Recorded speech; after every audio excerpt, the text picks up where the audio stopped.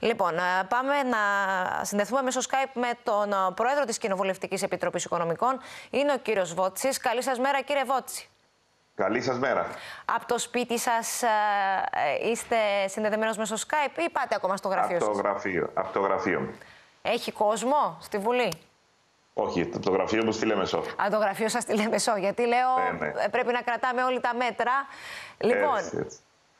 Ακούσατε και, και την προηγούμενη τηλεθεάτρια, η οποία ανησυχεί και για, τα, για, τα, για το παιδί της, όπως πολλοί κόσμος εδώ στην Κύπρο. Όλος ο κόσμος ανησυχεί βεβαίως. Και ακριβώς ε, προσπαθούμε όλοι να βρούμε εκείνους τους τρόπους για να βοηθηθούν όσοι μπορούν να, με τις αποφάσεις της κυβέρνησης να επαναπατριστούν, να έρθουν στον τόπο τους. Ε, ένα θέμα το οποίο και εγώ προσπαθώ εδώ και δύο μέρες να ξεκαθαρίσω είναι αυτές οι, αυτοί οι χώροι που καταγράφονται από το Υπουργείο Υγείας ότι μπορούν να δώσουν αυτό το πιστοποιητικό ότι έχει γίνει ο έλεγχος και δεν υπάρχει το πρόβλημα ε, με τον προνοϊό. Δυστυχώς φαίνεται ότι ή δεν υπάρχουν αυτοί οι χώροι ή τα τηλέφωνα δεν απαντούν. Σας λέω ότι και εγώ κάνω μια μεγάλη προσπάθεια να ξεκαθαρίσει αυτό το θέμα, γιατί αντιλαμβάνεστε ιδιαίτερα τώρα που έχουν περιοριστεί και οι μέρες που μπορεί να γίνει η χρήση αυτής της δυνατότητας. Πρέπει οι χώροι που έχουν εντοπιστεί από το Υπουργείο Υγείας να είναι πραγματικοί και να μπορούν να πάρουν αυτό το πιστοποιητικό όσοι ενδιαφέρονται να το πάρουν. Ναι, όμως το ε... θέμα που προκύπτει, κύριε Βότση, όπως ακούσαμε και στη, στην προηγούμενη γραμμή, είναι ότι ε, τους διώχνουν από τις αιστείες τους τους φοιτητές στην Βρετανία. Δεν μπορούν να εξασφαλίσουν το πιστοποιητικό και γίνεται ένας Εδώ είναι το πρόβλημα και προσπαθώ και εγώ να επικοινωνήσω με το Υπουργείο και να στείλω τα μηνύματά μου. Τα έχω στείλει και χθες και σήμερα. Προσπαθώ να ε, στείλω το μήνυμα ότι γινόμαστε δέχτες πληροφοριών ότι δεν μπορούν να πάρουν αυτό το πιστοποιητικό. Και πρέπει να ξεκαθαρίσει από το Υπουργείο Υγείας αυτό το θέμα. Γιατί δίνονται κάποια κέντρα χωρίς τηλέφωνα, δεν έχω δει τηλέφωνα. Ναι. Και έχω, έχω μιλήσει χθες με τις ιατρικές υπηρεσίες και είπα ότι πρέπει να μπουν και τα τηλέφωνα των συγκεκριμένων κέντρων για να μπορούν να επικοινωνούν από πριν να πάνε εκεί οι ενδιαφερόμενοι για να γίνει αυτό το οποίο πρέπει να γίνει. Όλος ο κόσμος μας παίρνει και μας λέει ότι δεν μπορούμε να πάρουμε αυτό το πιστοποιητικό. Η κυβέρνηση τους λέει πρέπει να έχετε πιστοποιητικό για να έρθετε. Πρέπει να ξεκαθαρίσει αυτό το πράγμα. Εντάξει. Και παρακαλώ, είναι καλά να μιλήσει με το Υπουργείο Υγείας να ξεκαθαρίσει αυτό το σημείο. Εγώ προσπαθώ εδώ και δύο μέρες και δεν κατάφερα ακόμη να λύσω αυτό το γόριδιο δεσμό. Από τη μια, να λέμε στον κόσμο πρέπει να φέρετε πιστοποιητικό από συγκεκριμένα κέντρα. Τα κέντρα αυτά λέει ο κόσμο που πάει ή τηλεφωνιά, όσοι, όσοι βρήκαν τηλέφωνα, ότι δεν δίνουν τέτοιο πιστοποιητικό. Και είναι στη μέση ο κόσμος που προσπαθεί να λύσει το πρόβλημα. Ναι. Είναι ένα θέμα το οποίο πρέπει να λυθεί πολύ σύντομα και άμεσα.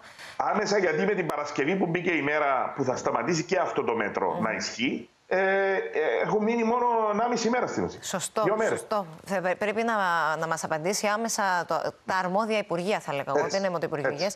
Λοιπόν, κύριε Βότση, να δούμε τι γίνεται τώρα με, τη, τα, με τα μέτρα στη Βουλή, πότε θα έρθουν προς ψήφιση και τι γίνεται με αυτή τη διαδικασία. Ε, ε Αναμένουμε, ε, σήμερα είναι στη συνεδρία του Υπουργικού Συμβουλίου. Έχω επικοινωνήσει και το πρωί ξανά με τον Υπουργό Οικονομικών για να δω πού βρίσκεται αυτό το θέμα. Εμείς είμαστε έτοιμοι, η, η Επιτροπή δικιά μας, αλλά θεωρώ και οι άλλες επιτροπές, γιατί υπάρχουν νομοθετήματα που θα πρέπει να διοχετευτούν σε διάφορες επιτροπές. Έχουμε νομοθετήματα που αφορούν το ΓΕΣΥ, κοινωνικές ασφαλίσεις, βεβαίως το ΦΠΑ. Οπότε θεωρώ ότι όλοι οι συνάδελφοι είναι έτοιμοι, μόλις είναι ενώπιον μας ε, στη Βουλή τα ε, νομοθετήματα, να συνεδριάσουμε και ακολούθως να ακολουθήσει και η Ολομέλεια. Θα συντονιστούμε βέβαια με τον πρόεδρο της Βουλής για να γίνει ε, ταυτόχρονα και η έγκριση από την Ολομέλεια για να εφαρμοστούν οι αποφάσεις της κυβέρνησης, οι οποίες έχουν στηριχτεί από την ε, συντριπτική πλειοψηφία από όλα τα κόμματα. Οπότε πιστεύω ότι δεν θα υπάρχει κανένα πρόβλημα στη Βουλή.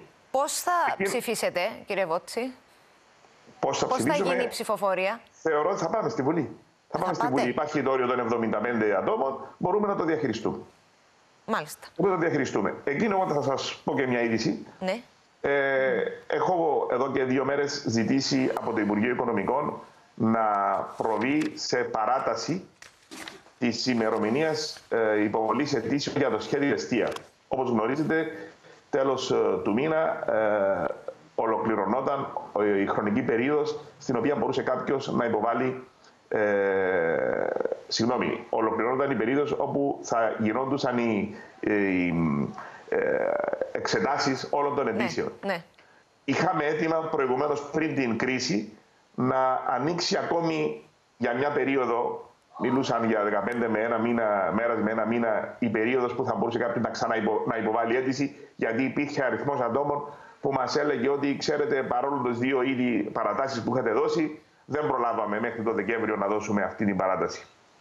Με τα νέα δεδομένα, ε, ζήτησα από τον Υπουργό, από το Υπουργείο Οικονομικών να δώσει αυτή την παράταση για να μπορέσουν όσοι επιθυμούν, έστω και τώρα, παρόλο ότι έπρεπε να κάνουν την αίτηση τους έγκαιρα μέχρι τον Δεκέμβριο, να μπορούν να υποβάλουν αιτήσεις. Σήμερα, ο Υπουργός Οικονομικών με ενημέρωσε ότι υπάρχει απόφαση από το Υπουργείο για να δοθεί παράταση τρεις μήνες ούτως ώστε να μπορούν εντός ακόμα τριών μηνών να υποβάλουν αιτήσεις όσοι θεωρούν ότι είναι δικαιούχοι του εστία και για διάφορους λόγους δεν είχαν υποβάλει αυτές τις αιτήσεις. Μάλιστα. Είναι μια θετική εξέλιξη. Ναι. Σας ενημερώνω, είναι πρωινή είδηση, μου την έχει μεταφέρει ε, ο Υπουργός Οικονομικών με τον οποίο συνομίλησα. Όπως επίσης ακόμη μια είδηση, γιατί ε, σαν Επιτροπή Οικονομικών και σαν Κοινοβούλιο θα έλεγα, αναμένουμε από τις τράπεζες ναι να πάρουν εκείνα τα μέτρα τα οποία θα μπορέσουν να δώσουν ανάσες στους πελάτες και στους δανειολήψες τους.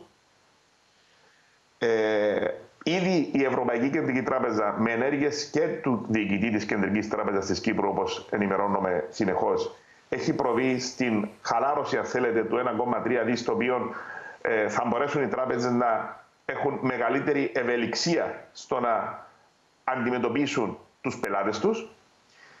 Είναι, ήδη γνωρίζω ότι ο διοικητής της Κεντρικής Τράπεζας είναι σε επαφή με τις τράπεζες για να δούμε με ποιον τρόπο μετακυλείται προς όφελος των δανειοληπτών και των πελατών τους αυτή η ευελιξία που έχουν πάρει από την Ευρωπαϊκή Κεντρική Τράπεζα και αναμένουμε τάχιστα να ακούσουμε συγκεκριμένα γενναιόδωρα μέτρα, γενναιόδωρες αποφάσεις των τραπεζών οι οποίες θα ενισχύσουν την εμπιστοσύνη των πελατών τους μαζί με τα ιδρύματα. Μάλιστα και εμείς περιμένουμε κύριε Βότση, ας ελπίσουμε ότι λοιπόν, θα γίνει... Και το παρακολουθούμε και αυτό που λέω το παρακολουθούμε έχει τη σημασία του και θέλω να πάει το μήνυμα στις τράπεζες ότι και η Κοινοβουλευτική Επιτροπή Οικονομικών και ευρύτερα το Κοινοβούλιο παρακολουθούν τις τράπεζες και αναμένουν τα γενναιόδωρα μέτρα τους. Επίσης, ακόμη μια πληροφορία και είδηση, ναι. με έχει ενημερώσει ο Υπουργός Οικονομικών ότι γνωρίζει ότι η ΚΕΔΙΠΕΣ